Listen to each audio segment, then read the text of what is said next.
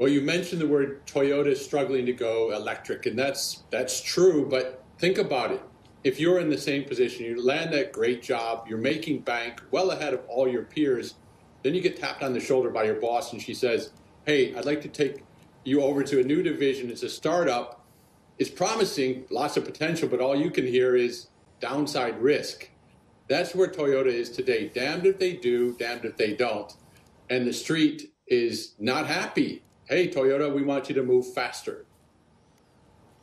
it, it is fair to say, though, Michael, that uh, Toyota is behind the curve in terms of EVs, yes? They're trying to catch up, obviously. They are. They are behind the curve. And just this week, you know, California sales came out, and guess what?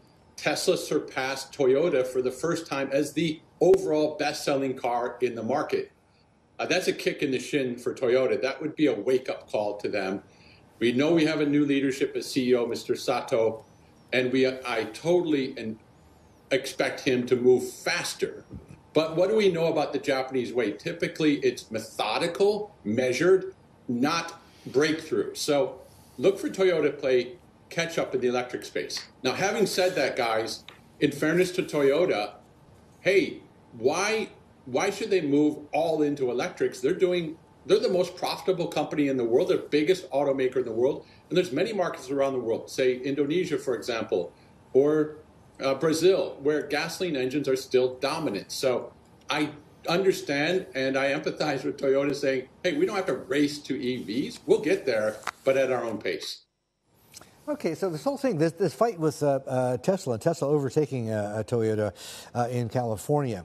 Uh, some pictures we were just looking at, and I think it's uh, easy to uh, underestimate just how important uh, the emotional aspect of, of uh, buying a car is. I mean, people buy cars for basically two reasons, right? Either A, they save a heck of a lot of money, nice econo boxes with which get great mileage, or because the car looks great, looks sexy, right? And if I'm not mistaken, this is the new Prius.